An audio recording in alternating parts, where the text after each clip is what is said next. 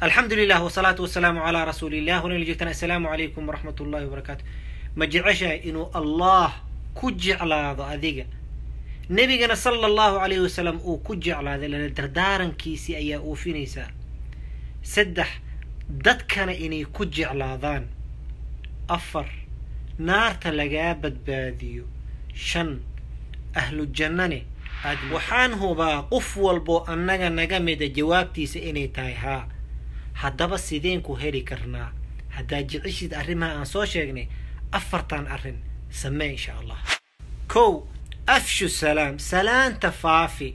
Qof kasta oo aad aragtid salaan. Assalaamu calaykum ku dheh.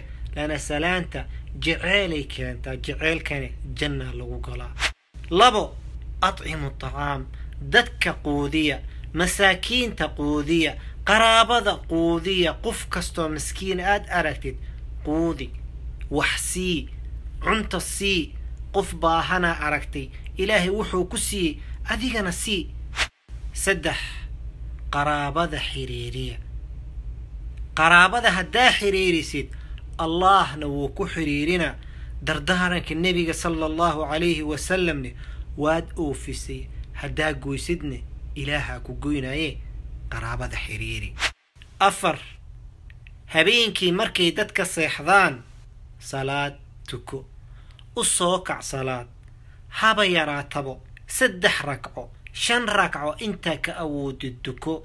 Salaada habeenka la tukado waxay ka mid tahay calaamadaha dadka wan wanaagsan waana salaaduu allah ugu jecel yahay faraa'idka markii laga tagay kadib. Haddaba afartan arrin aan sheegnay halkay ka imaatay nebiga sala allahu calayhi wasalam ayaa noo sheegay xadiis saxiix aljaamic ku jiro rasul sal lay slam wuxuu leey ayuha annaas dadow afshu salaam salaanta faafiya adcimu aطacaam masaakiinta quudiya silu arxaam qaraabada xiriiriya salluu billeyli wannaasu niyaam dadka habeenkii markay jiifaan tukada tadkhulu ljannata bisalaam haddaba walaaleel aan ku dadaalno afartan arrin annaga aan samayno walaalaheena kalene aan u sii gudbinno sidaan ajirka ku helno jazaakum allah khayr baaraka allah fiikum ilaahi subxaana wa tacaala waxaan weydiisanay inuu noo fuday khayr walbo السلام عليكم ورحمة الله ربنا لا تؤاخذنا إن نسينا أو أخطأنا. ربنا ولا تحمل علينا إصرا كما حملته على الذين من قبلنا. ربنا ولا تحملنا ما لا طاقة لنا به.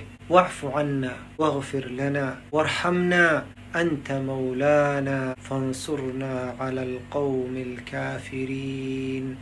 اللهم آمين.